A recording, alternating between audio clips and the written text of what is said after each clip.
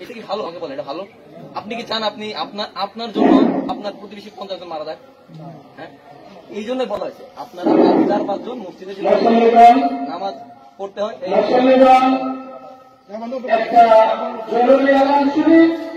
ঠিক আছে? এই জন্য বললাম আপনারা অন্যকে সতর্ক করুন ঠিক আছে? বলে, আমরা নামাজ পড়ব। নামাজ পড়ব আমরা মুসলমান পাঁচজনের বেশি মানুষ নামাজ আসবে পড়ব। না। কিন্তু আমরা পাঁচজনের বেশি মুসল্লি আসবেন না। সব মানুষ দূরে দূরে দাঁড়ায় নামাজ পড়ে। ঠিক আছে? এটা- এটা কোন খারাপ কথা আমাকে বলেন এটা কোন খারাপ কথা। জরুরি আলান শুনি এটা ধর্মের কোনো বিরুদ্ধে না হ্যাঁ? হ্যাঁ বলেন। ধর্মের কোনো বিরুদ্ধে না ঠিক আছে? আমরা কোনো সময় বলব না যে আপনি নামাজ পড়েন। আপনি একশো জন পড়েন আমার সমস্যা নেই। কিন্তু আপনি এটা ভাববেন যে আমার প্রতিবেশীর জন্য ক্ষতি না হয়। আমার প্রতিবেশী যেন এই জায়গা থেকে আমরা আমি নিজে একটা রোগ ছড়াচ্ছি আমি নিজে রোগী আমি পঞ্চাশ জন আক্রান্ত করছি। দেখবেন এই রোগটা এমন যে পঞ্চাশ জন মানুষ আক্রান্ত হলে পাঁচ কোটি মানুষ আক্রান্ত হতে পারে। একদিনের ভিতরে। একটা মানুষ বাজারে কতগুলো দোকান হয়েছে তো আমরা কি করব? আমরা মন থেকে নেব। আমরা বলতেছি না আপনি নামাজটা পড়েন। আপনি পাঁচশো জনের নামাজ পড়েন। আমার কোনো সমস্যা নেই। আমি আপনাকে আর বলব না যে আপনি নামাজ পড়েন অথবা না পড়েন। কিন্তু ভাই মন থেকে চিন্তা করেন যে আমি যে কাজটা করতেছি আমি একজনের সাথে নামাজ পড়ে হাতি দিচ্ছি জোরে জোরে নিঃশ্বাস নিচ্ছি, তাকে গায়ে স্পর্শ করতেছি। অথবা গায়ের সাথে গা লাগতেছে। এই ভাইরাসটা যদি তার শরীরে চলে যায়, আমি তো জানি না আমার ভিতরে ভাইরাস আছে কিনা, আমি জানি। দেখেন আমি আমি জানি না। আমি কতটুকু দূরত্ব দাঁড়ায় আছি, তবু আমি গ্লাভস পরে আসছি মাস্ক পরে আসছি। তো নিজেদের ভালোর জন্য, এলাকার ভালোর জন্য, ঠিক আছে, সমাজের ভালোর জন্য, দেশের ভালোর জন্য আমরা একটু দূরে দূরে থেকে আমরা নামাজ আদায় করব, বাসায় নামাজ পড়ি, এখানেই পড়ি। আপনারা নিজেরা ডিসাইড করেন। আপনারা তো মুসলিম যারা আছেন, তারা মানুষ সচেতন করবেন। যে আল্লাহ রাস্তায় আমরা আছি, আমরা সবাই নামাজ পড়ব পাঁচক পরিষ্কার পরিচ্ছন্ন থাকব। পাঁচবার যদি নামাজ পড়ে একটা মানুষ, পাঁচবার যদি একটা মানুষ নামাজ পড়ে, পাঁচবার অজু করতেছে। এর থেকে বড় কিছু আর দরকার আছে? আল্লাহ তালা তো পদ্ধতি শিখিয়ে দিছে। সুস্থ থাকার পদ্ধতি কি? পাঁচক নামাজ পড়ো, এই পর্যন্ত তুমি কি করো? হাত ধুতে করো, তোমার সমস্ত শরীর শরীর অঙ্গ কি হচ্ছে? পাক হয়ে যাচ্ছে। তো আল্লাহ তালা যেহেতু বলে দিচ্ছে আমরা আল্লাহ তালার পথেই যাব।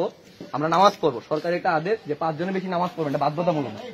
আপনারা চেষ্টা করবেন, মানুষকে বুঝাবেন যে, মুরব্বী, একটু আমরা ঘরে নামাজ পড়ি, আপনার সন্তান কেনে, এতে একটা কি হবে? বাসায় একটা নামাজ পড়ার একটা পরিবেশ সৃষ্টি হবে। আমার বাবাকে বলছি, আমার ছোট ভাইকে নিয়ে, আমার চাচাকে নিয়ে তোমরা ঘরে জামাত করো। তাতে কি হচ্ছে? ফ্যামিলি মাঝখানে একটা বন্ডিং বাড়তেছে। যেহেতু আমাদের ক্রাইসিস মুভমেন্ট আমরা একটু সতর্ক থাকব, ঠিক আছে? মন থেকে কষ্ট নিয়ে না। না, আমাদের আর্মি এসে মারে গেছে, বলে গেছে যে নামাজ পড়ব না, নামাজ পড়তে দিচ্ছে না, ধর্মকে অবজ্ঞা করছে না। আমরা সবাই মুসলমান সবাই মুসলমান, ঠিক আছে? কোন কোন ডাউট আছে? কোন কনফিউশন আছে আপনার? খারাপ কথা বলছি? আচ্ছা একটা বিষয় শুনেন। সরকার, আমি এই জেলার এক্সিকিউটিভ ম্যাজিস্ট্রেট আমি বলি, সরকার প্রজ্ঞাপন দিয়েছে পাঁচ জনের বেশি মসজিদে জামাত করা যাবে না। জুম্মার নামাজ হইলে দশ জন সেটা কাদের জন্য প্রযোজ্য? যারা মসজিদে আজান দেয় মোয়াজ্জিন তারপরে অন্যান্য যারা মসজিদের সাথে সংশ্লিষ্ট তারা ইমাম এরা মিলে পাঁচজন মিলে জামাত করতে পারে। ঠিক আছে? অন্যান্য আপনারা সবাই বাসায় থাকবেন। এটা হচ্ছে সরকারি নির্দেশনা। কেউ বাসা থেকে বের হবেন না। এবং আপনি জানেন না আপনি মনে করছেন না আমরা দূরে দূরে নামাজ পড়ব। তারপরেও আপনি যে কলটা ধরে উজু করতেছেন, সেই করে যে পরে উজু করবে, তার মাধ্যমে ছড়াবে। বুঝতে পেরেছেন? সুতরাং আপনারা বাসায় থাকবেন। আর নবীজি তো বলে দিছে। নবীজি বলেছে, যখন মহামারী হয়, তখন তোমরা নিজ এলাকায় অবস্থান করো, অন্যত্র যেও না। বলছে না?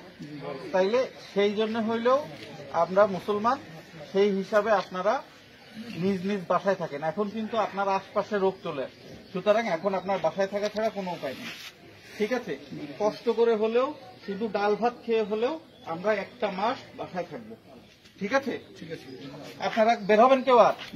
এখন বাসায় চলে যাবেন। ঠিক আছে। যান।